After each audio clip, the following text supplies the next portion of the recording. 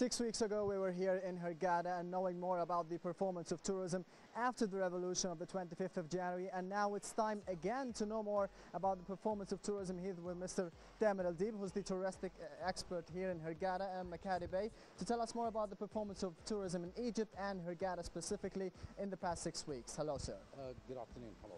Uh, unfortunately, the last, the, the past six weeks, I have to mention that uh, tourism hasn't impressed. It hasn't picked up on terms of volume. Mm-hmm. Unfortunately, due to the uh, incidents and the happenings within uh, the region.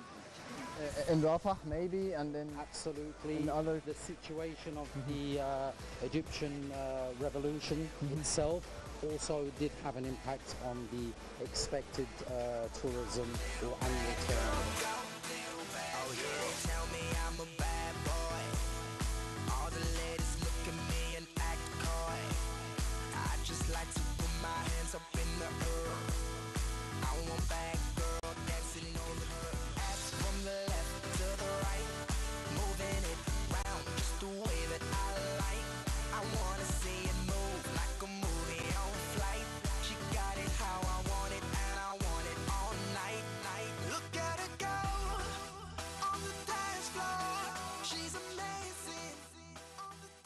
But the performance itself hasn't really uh, increase maybe with the occupancy of the uh, tour, uh, tourists here in the hotel or the results or the neighboring results hasn't really got a little bit better after the revolution?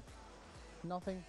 Well, we're slightly improving since the revolution. Mm -hmm. This I have to mention. But in terms of annual turnover, it mm -hmm. is mm-hmm. uncomparable uh, prior Before to 2011. The, uh, pre to the uh, So uh, what, uh, what, how did the presidential election actually affect the turnover or the performance of tourism here in Hurghada and Makadi Bay? Did it have an, uh, actually an impression about it? Well, actually yes, in terms of achievement, mm -hmm. because uh, going through a process of a revolution, mm -hmm. reforms, a new government, uh, what locals or even uh, tourists would expect mm-hmm. is the stability mm-hmm. and of course expecting the uh, transformation in stability.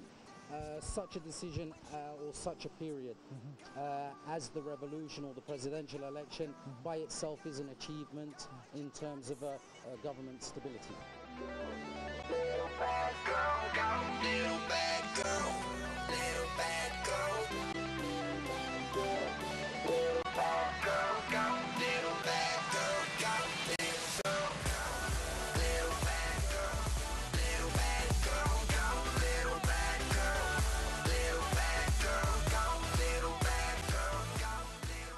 Yeah, you mentioned the new government and the new cabinet. Now we have a, a new minister for tourism, who's the Mr. Hisham Zaazou. Is that correct? Uh, what did he do still now for the tourism? Did he actually impress till now in the past uh, two or three weeks, or nothing yet has changed? Well, of course, uh, the time frame is very, very uh, uh, minimal mm -hmm. in order to judge on a person's performances or capabilities. Mm -hmm. But we all hope for the uh, mm -hmm. for, for a, a fruitful uh, future mm-hmm. and somebody with uh, a touristic background will definitely benefit, mm-hmm. which is my personal opinion. So uh, let's stick to, or maybe turn over to the demands of the tourists themselves coming here in Egypt. What are the main demands for them here? What are they looking for? Well, in general, well, the most important factors obviously is the good weather, mm -hmm. which we uh, thankfully have, mm -hmm. and the uh, let's say the culinary, let's say, mm -hmm. let's say the culinary aspect mm-hmm. uh, in terms of catering certain markets. Mm-hmm. Uh, these are in general the different demands from different, uh, I would say, markets. Mm-hmm.